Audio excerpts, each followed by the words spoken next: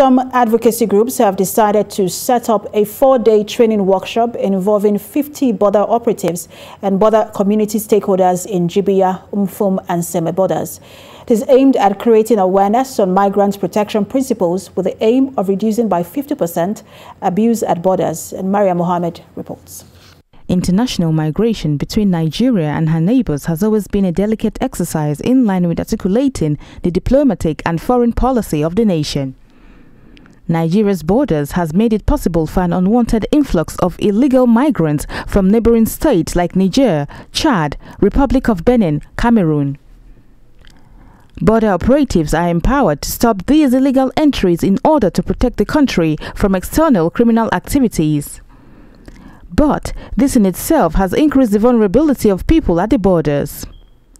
These advocacy groups are hoping to offset this by sensitizing and training border operatives in curbing abuses.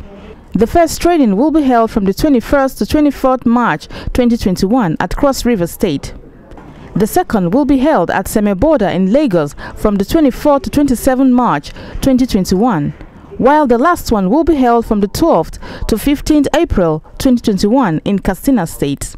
Better management of migration not only pleases Nigeria. The group stressed the need for a collective effort and support from the media and the general public in highlighting and reporting rights abuses and the flouting of the best practices by operatives at the borders.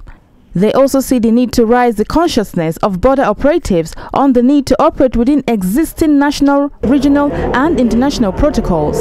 The capacity building of border operatives and migrant protection projects will be predicated and strongly determined by the collective efforts, support and goodwill of the media and members of the public, particularly in highlighting and reporting right abuses and best practices by operatives at our borders. There is need to, to educate the border personnel on first the rights of migrants and secondly on how to make sure these rights are protected.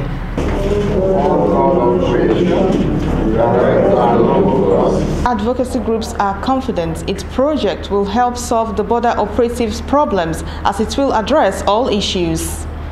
Maria Mohammed, TVC News, Abuja.